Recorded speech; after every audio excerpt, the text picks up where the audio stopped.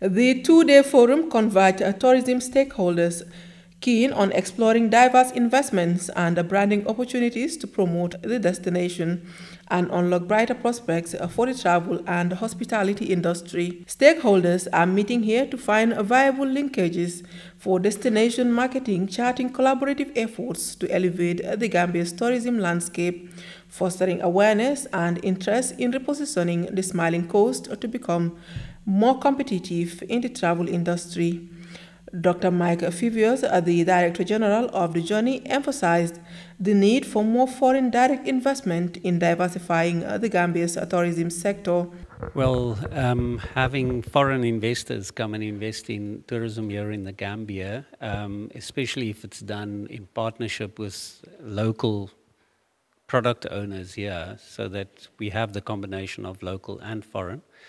Foreign investors can bring in, obviously, bring in new capital and uh, invest in the destination, but they also can bring innovation. And uh, many operators that operate internationally, hotel operators, tour operators, uh, transport operators, have also experience in other destinations and new trends in the way the market is developing, so that can bring also new concepts, new ideas into the Gambia. The Gambia's unique attractions, cultural heritage, and natural beauty forms a core part of discussions here as officials look to harness the Gambia's tourism potential through strategic investments, infrastructure development, and a public-private partnership.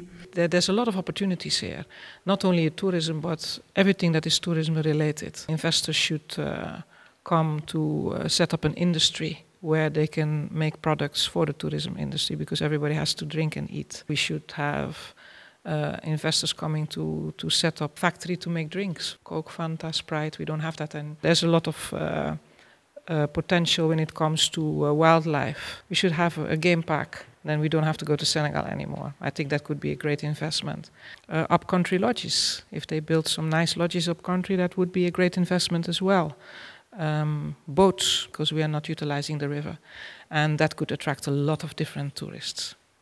The import of collaborative efforts between government agencies, private sector stakeholders, and local communities were emphasized as key requirements to ensure cohesive and sustainable tourism development frameworks. I believe so. There's a lot happening in tourism at the moment. Um, today is part of that process. Um, we really need a strategy for the future for tourism in the Gambia. We should be focusing much more on nature tourists, eco tourists, cultural tourists, because they're all the market trends at the moment. That's what people want globally. And Gambia is very well placed to provide all of those things, but at the moment we're not really doing it. We need support from central government. There's a certain um, capacity gap in terms of the Gambia Tourism Board and the Ministry of Tourism and the NCAC. Um, but all of that can be addressed as part of this programme, and capacity building is very much something that's being focused on at the moment. Um, we have our new tourism minister, which is very positive. Um, he seems very open to our ideas. So, yes, we do expect some cooperation from the government also. Betty Sala, a representative of the Denton Bridge Boating and Fishing Association, outlined the balancing of tourism investment with environmental sustainability and cultural preservation in the Gambia. Uh, when we look at uh, the environment is a buzzword right now, and in the Gambia in particular, given the coastal and uh, general erosion that we are experiencing through deforestation and other natural elements, climate change, um, whatever tourism we do look at has to be environmentally conscious, environmentally focused, and environmentally responsible tourism. In terms of culture, I think we need to really look at the Gambia I think our biggest selling point is our people and our cultural diversity. And the beauty of the cultural diversity is the, uh, the cornucopia of experiences that it offers our visitors. And to keep that alive, to keep the authenticity of our culture alive and relevant today. This two-day deliberation will help inform the development of a strategic five-year action plan aligned with the Gambia Tourism Board's budget capacities, guiding tourism marketing efforts from 2025 onwards.